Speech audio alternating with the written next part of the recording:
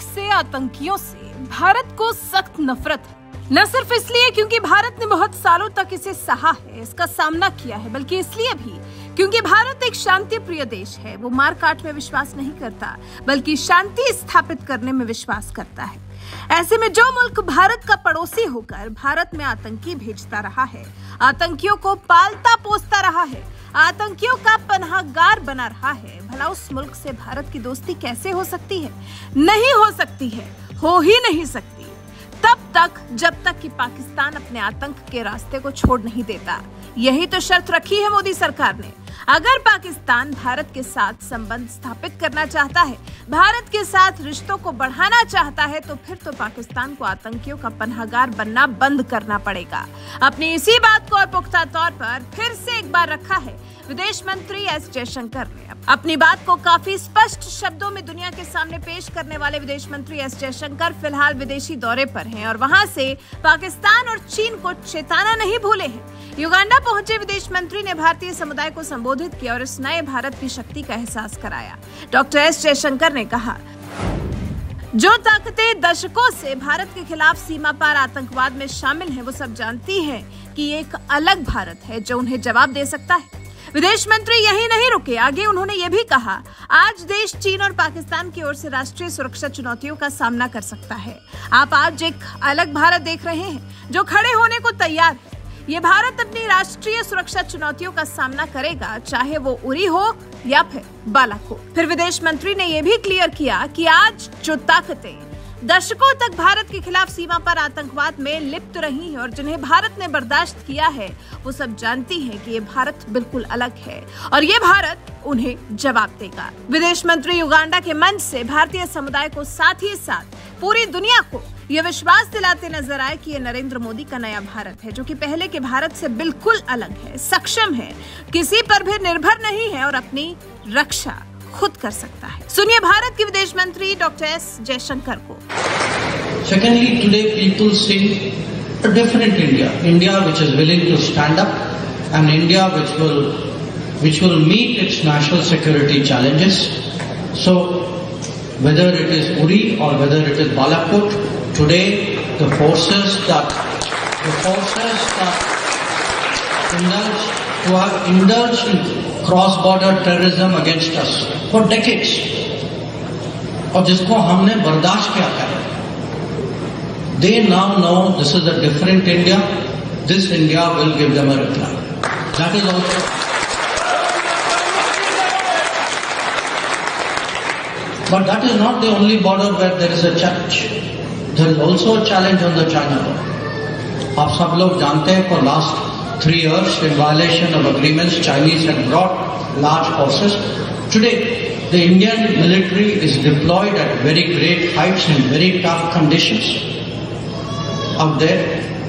And I can tell you the difference is that our soldiers have full backing, they have the right equipment, they have the infrastructure, which of course more work has to be done because it has been neglected in the past. But this is a different India which will stand up for its interests and the world will recognize that also. सुना आपने? विदेश मंत्री को और फिर देखा किस तरह से विदेश मंत्री के बयान पर लोगों ने तालियाँ पीटी हैं, क्योंकि लोग विश्वास करते हैं इस नए भारत पर, उन्हें भरोसा है इस नए भारत पर। यकीन है कि ये भारत अपनी रक्षा के लिए सक्षम है। पाकिस्तान क्या, चीन क्या, कोई भी बड़ी से बड़ी पावर अगर भारत के सामने आ जाएगी तो भारत कदम पीछे नहीं खींचेगा, बल्कि डट कर उस शक्ति का सामना करेगा। ये नरेंद्र मोदी का नया भारत है, जो शीश नवाना भी जानता है और छेड़ने वालों का सिर कलम करना भी जानता है। अब भारत सहन करने वाला भारत नहीं रहा, भारत जैसे को तैसा जवाब देने वाला भारत बन चुका है। निश्चित तौर पर इस भारत पर हर देश प्रेमी को नाज है। इस नए भारत ने हर राष्ट्रभक्त का सीना गर्व से चौड़ा किया है। और युगांडा में राष्ट्रीय न्यायालय विज्ञान विश्वविद्यालय का विदेश में पहला परिसर जिंजा में स्थापित किया गया है। यहीं पर इस नए भारत को लेकर गर्वान्वित महसूस कर रहे विदेश मंत्री डॉक्टर एस जयशंकर ने भारतीय समुदाय को संबोधित किया। परिसर के उद्घाटन समारोह में भारत को मज़बूत स्थिति में दिखाने वाले विदेश मंत्री ने कहा, हम दोनों देशों के बीच द्विपक्षीय संबंधों की एक बड़ी उपलब्धि मनाने के लिए इकट्ठा हुए हैं। भारत का राष्ट्रीय न्यायालय विज्ञान विश्वविद्यालय युगांडा के रक्षा बलों के साथ साझेदारी में यहाँ अपना परिसर स्थापित कर रहा है। विदेश मंत्री ने इस खास दिन को भारत और युगांडा के लिए गौरव का दिन बताया और साथ ही दुनिया में संदेश भी पहुँचाया की कैसे भारत अब पहले से काफ़ी अलग और बहुत अच्छी स्थिति में है। आपको बता दें, विदेश मंत्री मोजाम्बिक की तीन दिवसीय यात्रा पर है। यात्रा के दौरान उन्होंने द्विपक्षीय सहयोग को मज़बूत करने के लिए मोजाम्बिक की संसद के अध्यक्ष से मुलाकात भी की। तेरह अप्रैल से डॉक्टर एस जयशंकर ने यात्रा शुरू की, जो भारत के किसी भी विदेश मंत्री की पहली यात्रा है वैसे यहाँ से विदेशी धरती से विदेश मंत्री एस जयशंकर ने जो साफ़ संदेश दिया है पाकिस्तान और चीन को जिस तरह से चेताया है उस पर आपका क्या कुछ कहना है अपनी राय हमें कमेंट कर ज़रूर बताएँ Secondly, today people see a different India, India which is willing to stand up, and India which will which will meet its national security challenges. So, whether it is Uri or whether it is Balakot, today the forces that the forces that indulge who have indulged in cross-border terrorism against us for decades, और जिसको हमने बर्दाश्त किया है they now know this is a different India. This India will give them a reply. That is also. But that is not the only border where there is a challenge. There is also a challenge on the China border. आप सब लोग जानते हैं for last three years in violation of agreements Chinese had brought large forces.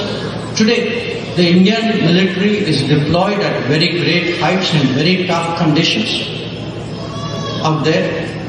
And I can tell you the difference is that our soldiers have full backing, they have the right equipment, they have the infrastructure, which of course more work has to be done because it has been neglected in the past.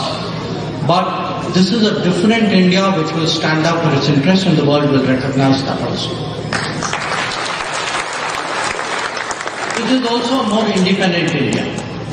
This is an India where if we are put under pressure, if countries tell us where we should buy our oil and where we should not buy our oil, this is an India.